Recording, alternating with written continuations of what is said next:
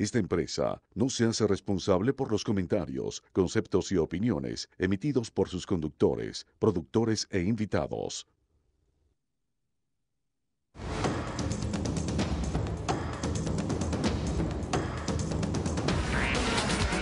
Patricia Poleo en Agárrate, opinión estremecedora. Buenas noches, bienvenidos a Agárrate. Hoy ya casi que terminando la semana tenemos eh, un día bien noticioso. Vamos a comenzar por mm, lo que ya habíamos informado en este programa. Lo hicimos el miércoles 12 de agosto, es decir, hace más de una semana, acerca de lo que le venía al diario El Nacional, uno de los pocos diarios que queda en Venezuela realmente libres e independientes y eh, por supuesto todo orquestado por Diosdado Cabello, que es el dueño del país. Eh, lo de Diosdado Cabello ya eh, ha, yo, diría que ha, roto las, las barreras de lo que se puede considerar hasta, hasta lógico. ¿no? Ayer hizo un programa que recomiendo buscarlo en YouTube, un programa de casi tres horas en las que, bueno, primero que trató de imitar a Chávez, lo, lo logró, con, yo diría que con, con bastante éxito en las interminables cadenas que hacía Chávez. Eh, pero además ahí eh, arremetió, por ejemplo, contra la mm, presa política Alaminta González. Eh, la relacionó Mm, con eh, estos eh, individuos que están presos, estos criminales que están presos por haber descuartizado a una mujer, pero eh, cuya notoriedad es que están hablando del gobierno, de, perdón, de, dirigentes de la oposición relacionándolos con las acciones violentas en Venezuela, con planes de conspiración, etcétera. Bueno, él habló ayer, arremetió contra Araminta González y sorpresivamente hoy aparece un video de Araminta González, que es una presa política que ha estado pasando eh, por eh, toda clase de violaciones de derechos humanos, hasta la han torturado, etcétera. Bueno, hoy aparece libremente declarándole al periódico oficialista Últimas Noticias desde la oficina de la dirección del penal donde ella se encuentra en el Instituto Nacional de Orientación Femenina y hace los mismos señalamientos prácticamente que eh, hace el criminal Pérez Venta en el video que el gobierno está difundiendo. Sobre todos esos temas vamos a hablar hoy porque una de las dos, una de las señaladas por las dos partes, es decir, por Pérez Venta y también por Araminta González es María Conchita Alonso y hoy la vamos a tener aquí desde Los Ángeles, eh, la vamos a tener vía Skype respondiendo si ella realmente estaba metida en todo eso que la están acusando. Sabemos que no, pero vamos a tenerla a ella aquí respondiéndole a eso. Pero vámonos al miércoles 12, cuando yo advertí, hice la denuncia y anuncié lo que iba a pasar en el caso de la demanda de Diosdado Cabello contra el Nacional. Vamos a ver ese segmento del programa de ese día. Lo otro, viene para el Nacional eh, una medida de em, enajenación de todos los bienes, o sea, eh, congelamiento de cuentas, etcétera, todo por la demanda que introdujo Diosdado Cabello. Y la presión la está recibiendo el juez que tiene la demanda, que tiene que expropiarle todo al nacional. Eh, una medida además que se va a hacer sin que el demandante, que es Diosdado Cabello, eh, coloque la fianza, tal cual como lo dice la ley, que debe colocar una fianza, ni siquiera se le va a pedir fianza al demandante, sino que se va a tomar la medida sin pasar por por esto. Bueno, eh, ayer se cumplió esto, eh, llegó a la sede del, diario El Nacional la medida de prohibición de grabar y enajenar los bienes del El Nacional, tal cual como yo lo dije. Y hoy Miguel Enrique Otero denuncia que el juez, el juez sucumbió a las presiones de Diosdado Cabello.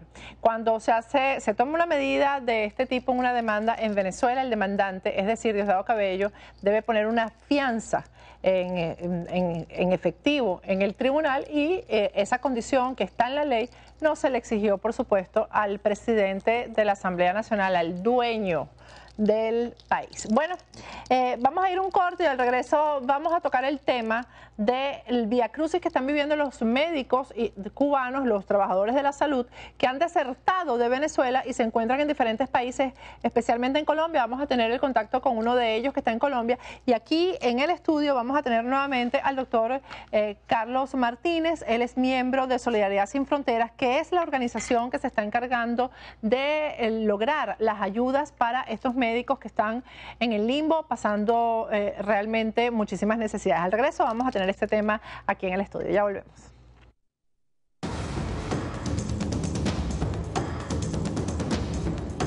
Agárrate con Patricia Poleo.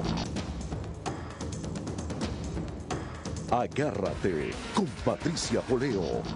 Regresamos con Agárrate. Estamos ya en el estudio con el doctor Carlos Martínez. Él es médico y vocero de la organización Solidaridad Sin Fronteras, médico cubano. Y además, eso fue un preso político del régimen cubano. Le pedí que volviera hoy al programa. Estuvo ayer con nosotros, pero todo fue como con los problemas técnicos que tuvimos, todo fue muy rápido. Eh, Carlos, hoy ha arreciado la campaña de Solidaridad Sin Fronteras. La he visto en todos los medios a favor de estos médicos que se encuentran eh, en el limbo. Quiero que me expliques una vez más la situación de ellos y por qué se está violando una ley que eh, fue eh, precisamente mm, hecha para, eh, primero para promover la deserción de estos médicos y protegerlos, porque se sabe que estos médicos están en, una situación terrible, llévenlos al país que los lleven, y siempre desean desertar y esto les dio protección. ¿Por qué no se está cumpliendo la ley que permite darles una visa, a estos, una visa humanitaria a estos médicos que desertan en algún país? Bueno, como tú bien dices, ah, hoy, hemos arreciado bastante la, campaña. Hoy, hoy se hizo una rueda de prensa eh, liderada por el presidente Solidaridad Sin Fronteras, doctor Julio César Alfonso.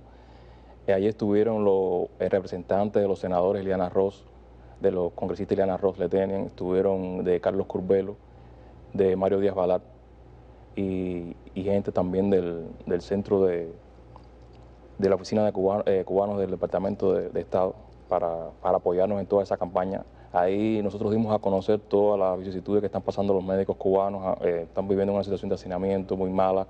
Hay señoras de que están, eh, tuvieron eh, un embarazo, tuvieron que, que, dar a luz allá en ese país le hicieron cesárea y tiene toda esa cesárea, la tiene infectada y todo. Como son médicos, están poniendo ese tratamiento ellos mismos, pero hace, falta medicamentos, etcétera. Nosotros estamos ayudando. Por eso recaudamos, somos muy incisivos en la recaudación de fondos, porque solamente con eso podemos ayudarlos a ellos. Son cientos de miles de, médicos que están allá y es una cosa real que... ¿Están solamente en Colombia o están en otros países? En Ecuador también tenemos casos también, tenemos casos, pero fundamentalmente en Colombia y entonces ellos están en una muy mala situación y de repente si todo eso se resuelve, que, tenemos fe que todo se resuelva, se va a demorar un poco. Entonces ellos necesitan ese dinero para poder subsistir en esos lugares que son muy precarios, unas condiciones muy precarias de hacinamiento, tienen muy malas condiciones. Ahora, hay que explicar una cosa aquí, ¿no? Eh, eh, estos médicos desertaron en Venezuela y se fueron por la frontera, obviamente, hacia Colombia y Ecuador. Eh, hay quienes se preguntan por qué no se fueron a la embajada de Venezuela, de perdón, de Estados Unidos en Venezuela y pidieron su visa humanitaria ahí, ¿no? Y yo no sé si tú sabes la respuesta, eh, pero realmente hay un cordón policial eh, que revisa todos los carros que llegan a la Embajada Americana en Venezuela, precisamente evitando que los médicos eh, deserten. Y una vez que los capturan, imagínate lo que puede pasar con ellos, ¿no? eso creo que es la respuesta. Sí, sí, seguro, seguro. Y, pasan mucho trabajo para pasar todos esos lugares, para llegar a los países, a Ecuador, a Colombia, etcétera, etcétera. Se arriesgan mucho. Y mucho, hay mucha gente que, se, que tratan de beneficiarse de todos esos problemas. Claro, y cobran dinero por sacarlos, por trasladarlos y todo eso. No me gusta usar la palabra de, de sector, porque de sector es la palabra que usa el régimen allá, el régimen de los que usa como, como eh, marginándolos y, y denigrando, pero me, me, gusta usar más que dejan las misiones esa, es una palabra más eso, de sectores es un poco, un poco fuerte la palabra esa y, y nunca... Lo que pasa es que la palabra que se usa porque se supone que son funcionarios, ¿verdad? Sí, claro, eh, sí. Y que son, que y que pertenecen al aparato del Estado, sí, ¿no? Sí, sí. Eh, y, y, al, abandonar, pues desertan, desertan porque, eh, porque abandonan, la, abandonan precisamente lo que, lo que es la, la revolución, la ideología, la lucha por la patria, todas esas cosas. Ese es el discurso. Sí, sí, sí, sí. Ese es una, es una palabra que ellos tienen bien casillada, igual que como lo de traidores, y eso también, eso no son traidores, son gente que están luchando por por vivir en unas condiciones humanas mejores, es decir, desde el punto de vista que son explotados. Eh, es, algo puramente político, porque ellos vienen todos, desgraciadamente, son explotados, eh, están pasando por pésimas condiciones, eh, son robados, saqueados por el gobierno cubano. ¿Hay una cifra de los médicos que han desertado de Venezuela hasta ahora? ¿De los médicos cubanos que han estado en Venezuela y han desertado? desertado. Dijimos que no íbamos a decir desertado, Sí. que han abandonado la misión. No, no. Sí, eh, tenemos, son, son miles, no tenemos la cifra exacta, pero sabemos que son miles de médicos que han, que han desertado, que han dejado las misiones, que han dejado las misiones, pero mu- muchos que han podido llegar a los Estados Unidos. De repente hace ocho meses que esto se, se, se, se agudiza, esta situación que tiene, sobre todo ahora con las negociaciones entre Washington y La Habana, que entonces todo se ha agudizado y se ha parado de manera eh, brusca. Ahora, Carlos, bueno, estamos tratando de comunicarnos con, no, no- no nos ha atendido, pero ya teníamos contactado al doctor José Ángel Sánchez que se encuentra en Colombia en este momento. Eh, ¿Cuánto tiempo más o menos tienen en esta situación eh, estos médicos que están, por lo menos los que están en Colombia? Bueno, hay, hay personas que llevan hasta ocho meses en esa situación. ¿Hay posibilidades a través eh, de los eh, representantes de, de Ileana Ross que, de Carlos Curbelo que estuvieron hoy en la rueda de prensa que se logre algo a nivel de gobierno aquí para que se resuelva esa, esa situación? Sí, sí, sí. Estamos haciendo presión por todas partes y confiamos, como mismo se resolvió lo de los- el problema de que los médicos cubanos podían hacer los boards de medicina aquí en los Estados Unidos, eso se resolvió eh, en un tiempo bastante rápido. Te- tenemos fe de que, de que esto se resuelva también. Ahora, Carlos, ¿en qué momento se detuvo esto? O sea, ¿En qué momento se dejó de, em, de materializar lo que es la, la- la ley eh, que permite que los médicos que abandonen estas misiones pues reciban una visa humanitaria? ¿En qué momento eso se dejó de hacer? Porque eh, yo he, he conocido muchos médicos cubanos que han pasado por Venezuela, que abandonaron en Venezuela y están aquí. ¿En qué momento esto se dejó de hacer?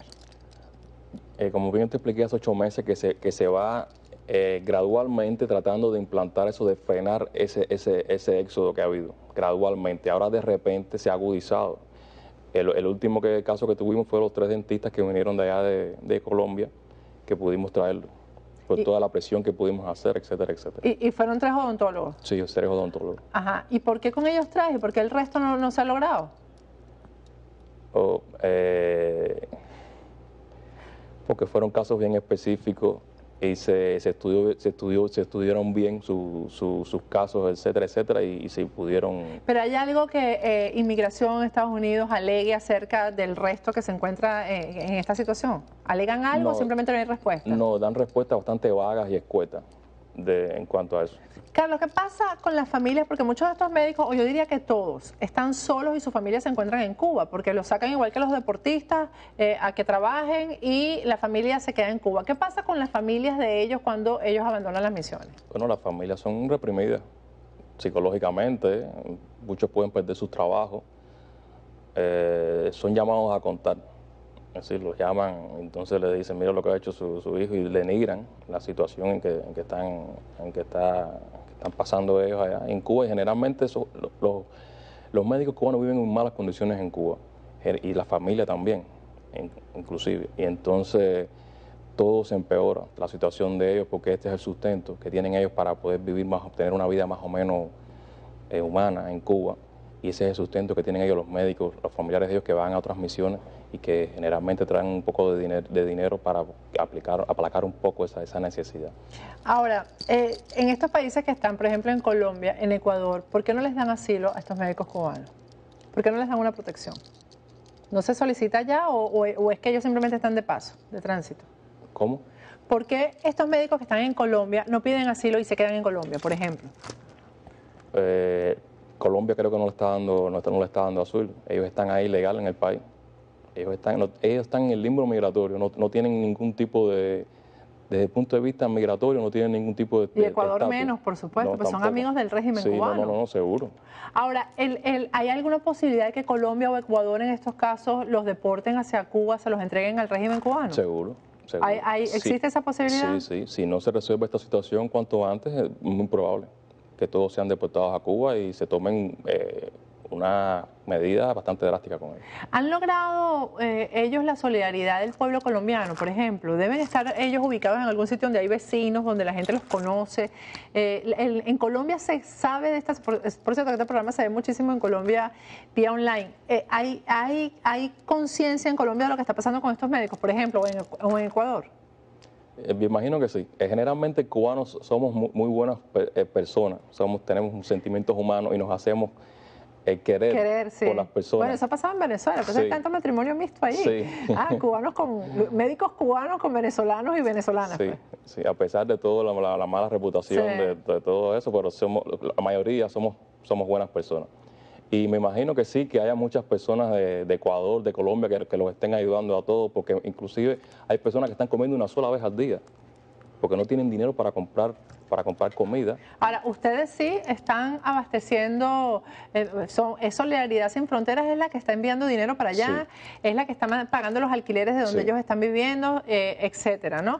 Eh, ellos no tienen otro, otro ingreso que no sea el, que ustedes les están proporcionando. Por ejemplo, conocemos el caso de un, de un muchacho que tuvo que vender su casa. Las casas en, en Cuba, vamos a hablar de un promedio, pueden estar en 10 mil dólares, un promedio, más o más menos y ese muchacho tuvo que vender su casa en dos mil dólares para que su familia le, llevara ese dinero, le mandara ese dinero para allá, para, para Colombia, para poder subsistir. ¿Qué, cuánto, le, ¿Cuánto le podrá alcanzar dos mil dólares? No sabemos, no sabemos. Ahora, ¿cómo se hace para colaborar con esto? ¿Cuál es el mecanismo? Las personas que nos están viendo, ¿cómo se hace para comunicarse con ustedes? Es sencillo, llamar al 305-884-4110. Ahí se están haciendo todas las donaciones son las donaciones son 100% libres de impuestos. Entonces todas las personas que estén interesadas, por favor, pueden llamar a ese teléfono, se ponen de acuerdo, pues recibimos cheques, dinero en efectivo, etcétera, etcétera. Bueno, muchísimas gracias. Gracias por haber regresado aquí. Nosotros vamos a estar siempre eh, hablando del tema y tocándolo porque es bien importante. Además, han salido de Venezuela huyendo y los venezolanos están saliendo de la misma manera. Sí. Así que este, hay que ayudar en esto. Gracias, Carlos. Bueno, y el, doctor que nos iba a atender, el médico que nos iba a atender en Colombia, parece que no, no, no, no nos pudo atender. Vamos a ver si nos podemos comunicar con él mañana. Muchísimas gracias nuevamente por haber estado aquí. Al regreso vamos a hablar con María Conchita Alonso, cubana también, venezolana y eh, ciudadana americana, acusada de terrorismo, violencia, de todo en Venezuela. Al regreso, desde Los Ángeles, vía Skype, vamos a tener a María Conchita Alonso. Ya regresamos.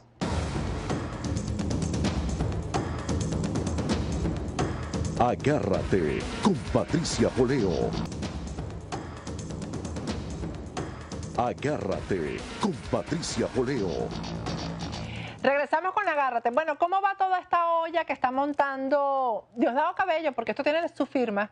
Eh, con respecto al descuartizador, que ahora no importa que sea descuartizador, porque él, su crimen más grave es que él estaba relacionado con varios dirigentes de oposición, personas eh, que son adversas al régimen. Entonces él está echando todos los cuentos, pero además tranquilito, sin esposas. Él habla y, por cierto, eh, se está comunicando vía BlackBerry con alguna de las personas que él conoce diciéndole que todo está bien y que él pronto va a salir en libertad, cosa de lo cual estamos seguros. ¿Cuáles son las novedades? Anoche Diosdado Cabello pues dio, hizo un programa como de tres horas eh, donde habló de la eh, de, Araminta González, que es una de las personas que aparece relacionada con estos sujetos y eh, bueno, prácticamente sentenció, porque él lo que hace ahí es sentenciar. Fíjense, una de las personas, dos de las personas ya mencionadas, por esta, eh, este, este criminal de Pérez Venta ya están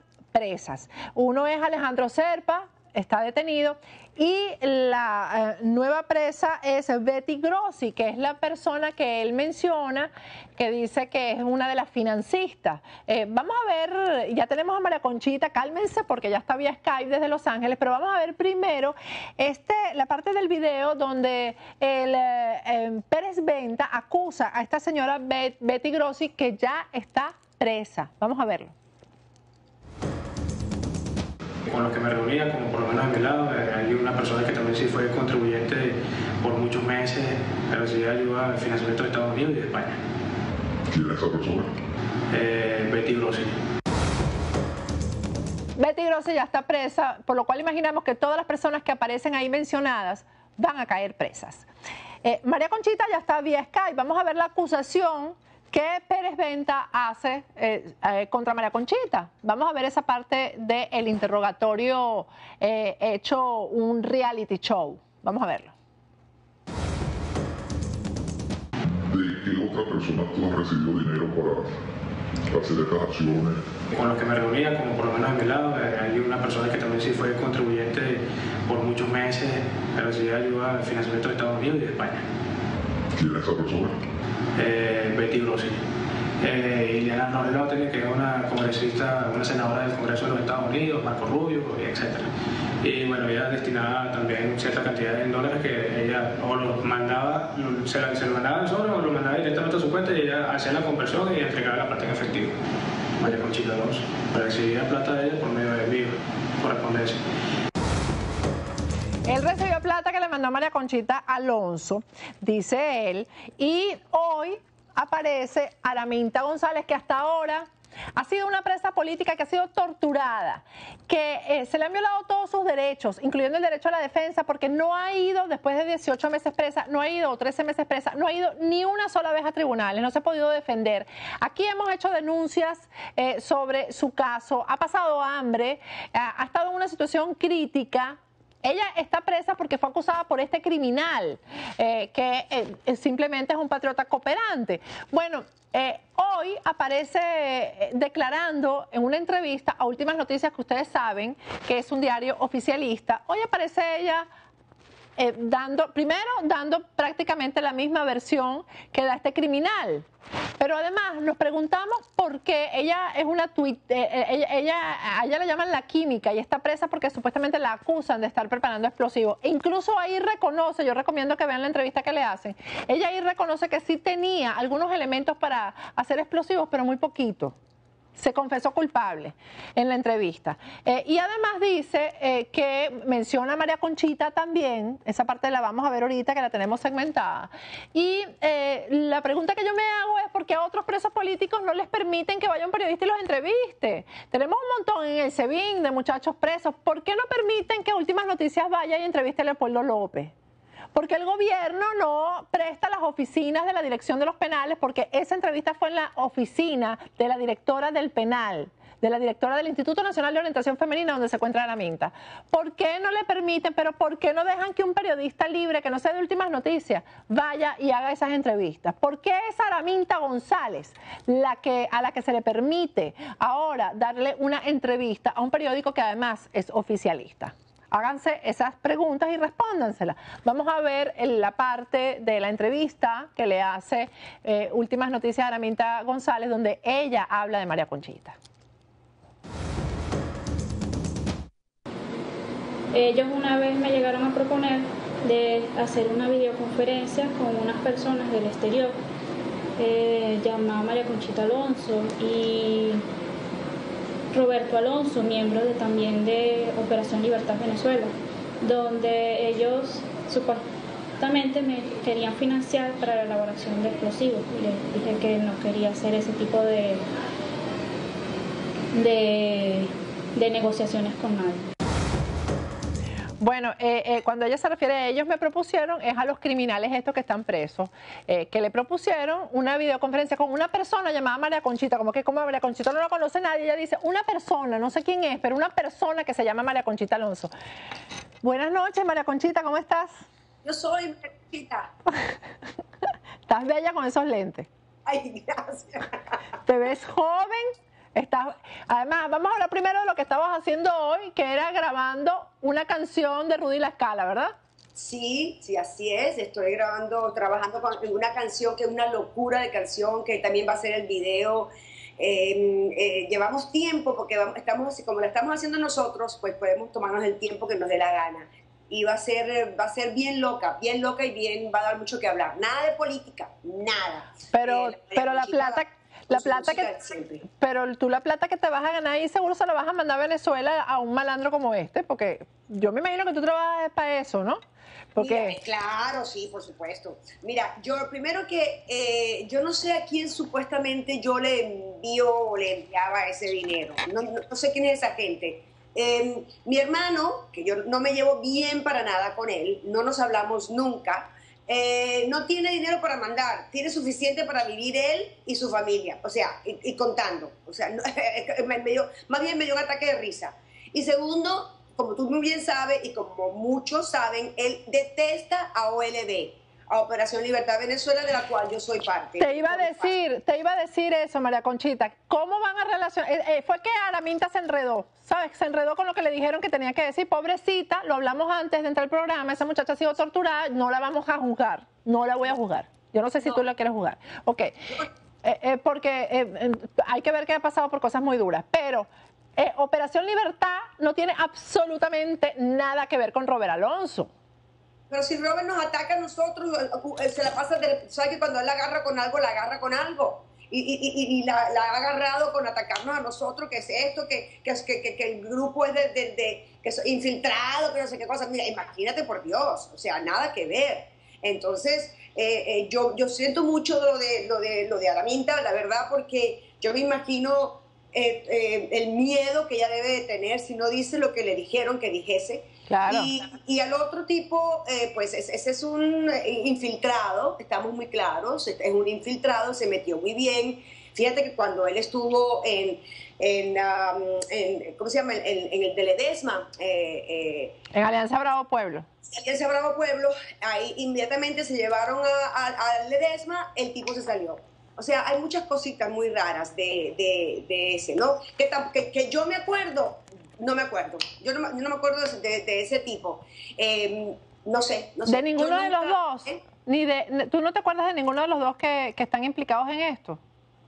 No, de Carlos Trejo sí me acuerdo, claro. Carlos Trejo sí me acuerdo porque me lo, me lo presentó por ¿sabes cómo se presenta hoy en día la gente por, por celular? No, es muy chévere, un luchador. Ese es otro, otro pues, eh, supuestamente infiltrado, que se metió por todos lados, con, con Leopoldo, con, con este, hasta con, Enrique, con, todo, con todo el mundo, pues se metían para ver qué sacaban.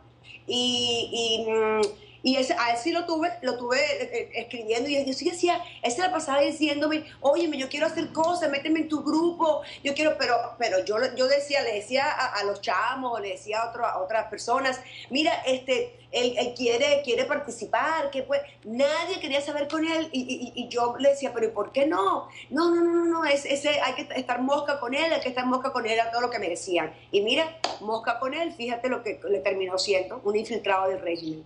Ahora, eh, a él eh, dicen incluso que fue él el que eh, vendió a Lorenzalé. Dicen que fue Carlos Trejo.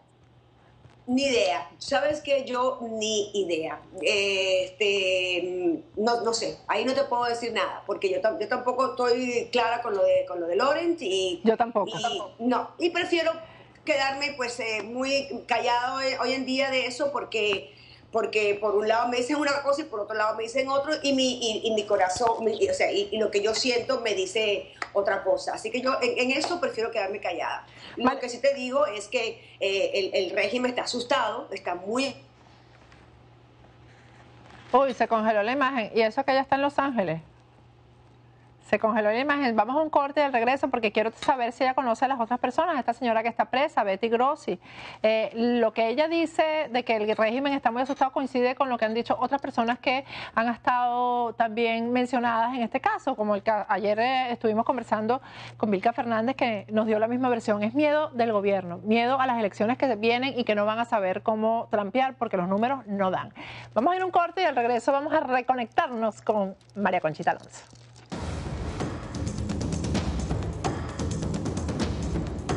Agárrate con Patricia Poleo. Agárrate con Patricia Poleo. Regresamos con Agárrate. Estamos, tenemos colapsadas las redes sociales con esta entrevista a María Conchita el día de hoy. Ya estamos otra vez reconectados con ella. Ella está en Los Ángeles. María Conchita, ¿estás ahí? Aquí estoy, aquí estoy.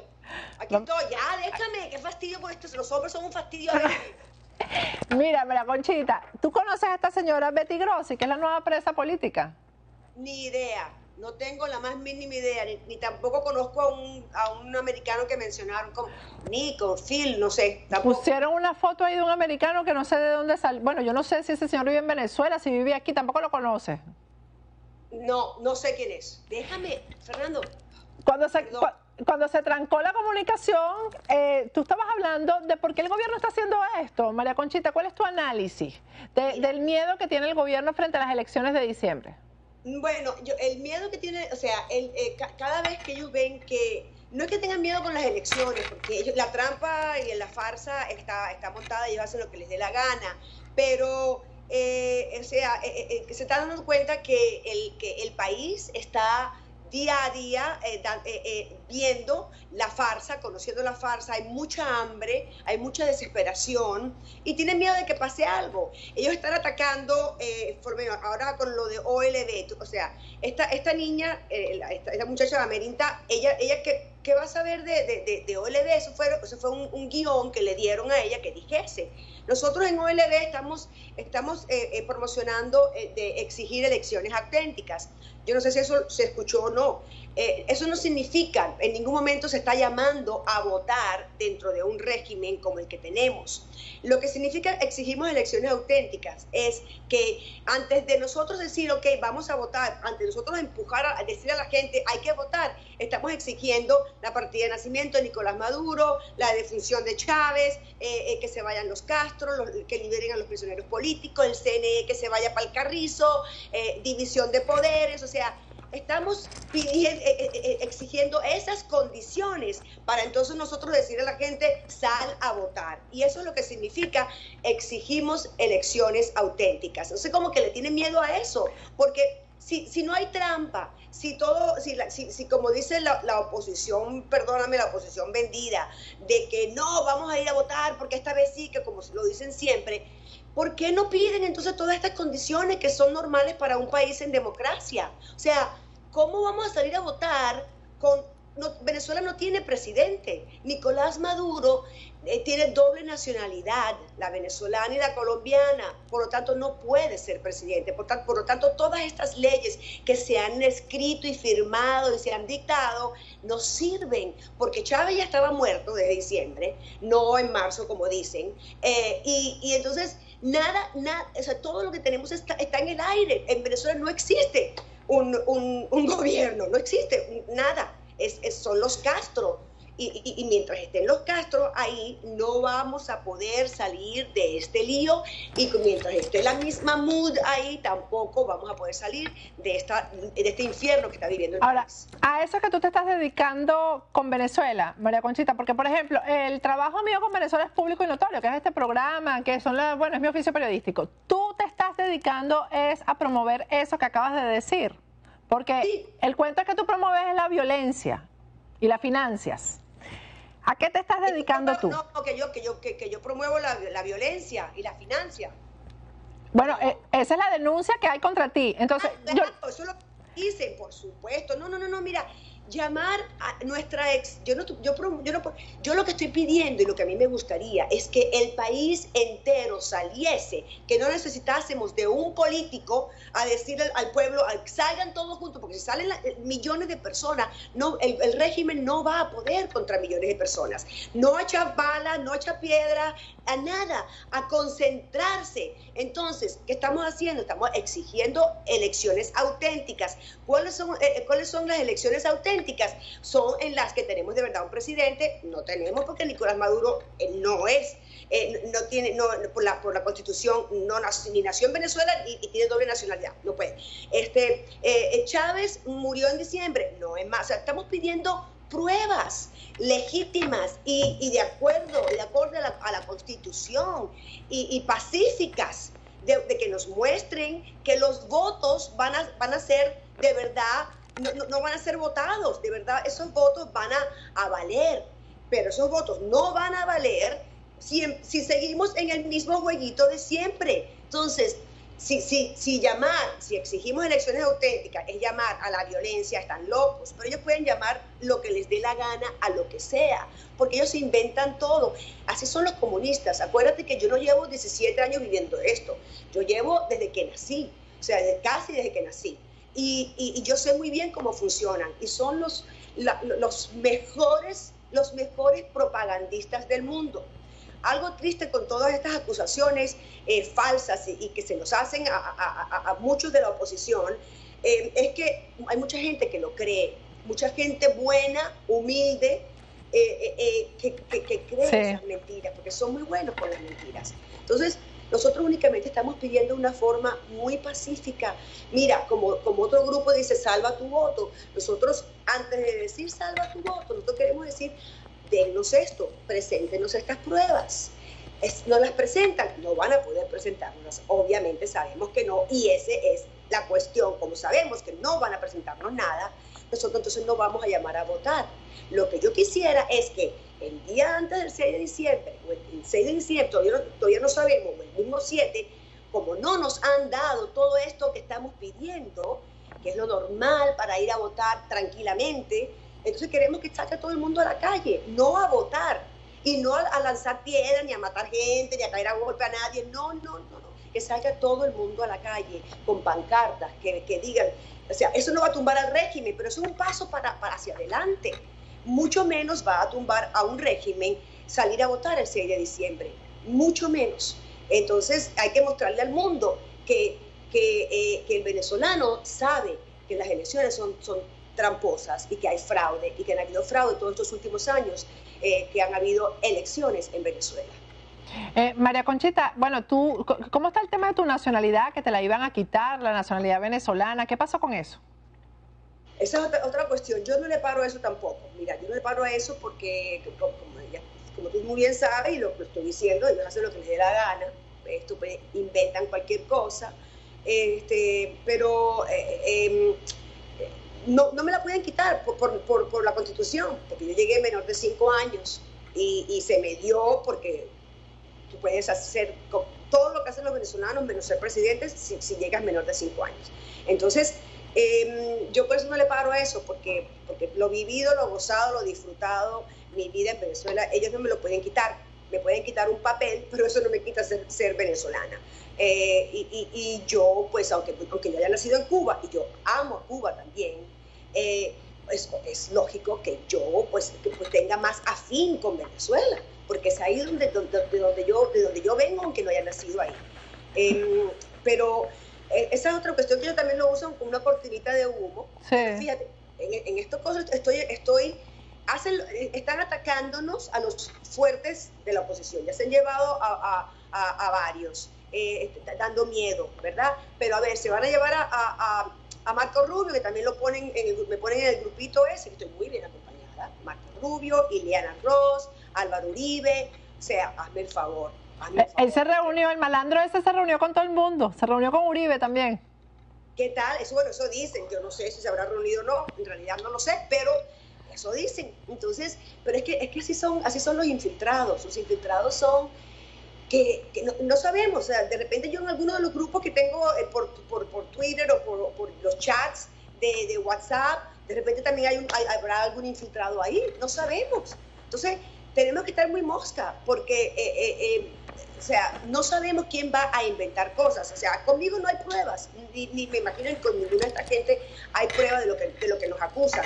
O sea, que me, que me enseñen, que me muestren, a ver. Yo no tengo la más mínima idea de quiénes son esas personas a quienes yo supuestamente le mando dinero, no tengo la más mínima idea.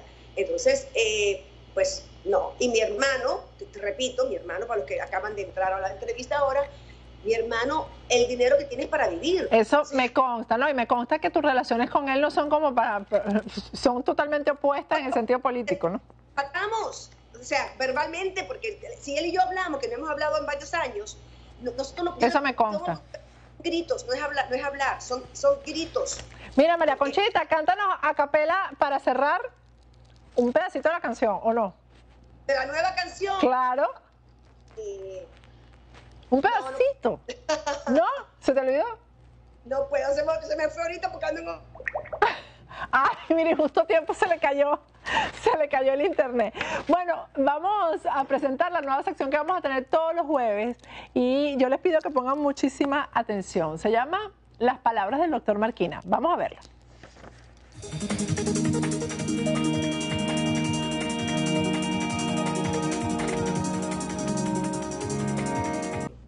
Queridos amigos, Venezuela vive momentos muy difíciles, producto de una crisis económica y sobre todo moral que ha llevado al país de ser uno de los países más ricos y seguros del mundo a ser uno de los más pobres, con mayor violencia y asesinatos per cápita del mundo. Aunque la situación de Venezuela es muy difícil, quiero dar un mensaje de optimismo, pues la crisis económica, aunque muy difícil, se puede superar si cambiamos el modelo político económico actual y logramos que respetando la empresa privada y creando condiciones de trabajo dignas, el país vuelva a producir alimentos y bienes que años atrás muchísimo, con muchísimo orgullo producíamos. Pues el daño más difícil ha sido el daño moral que se le ha hecho al país. Se han destruido valores importantísimos del venezolano, con continuos mensajes de odio de quienes tienen la responsabilidad de gobernarnos.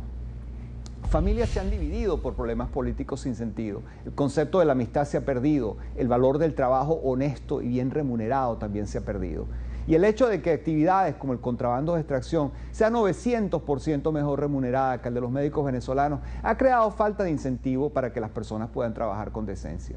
Ante la falta de condiciones para los jóvenes, la delincuencia se ha disparado. Quiero hacer un llamado, sin embargo, de optimismo. El país saldrá adelante, pero debemos cambiar el modelo político-económico actual. Tenemos que rescatar los valores del trabajo trabajar con decencia. Ante la falta de condiciones para los jóvenes, la delincuencia se ha disparado. Quiero hacer un llamado, sin embargo, de optimismo. El país saldrá adelante, pero debemos cambiar el modelo político-económico actual. Tenemos que rescatar los valores del trabajo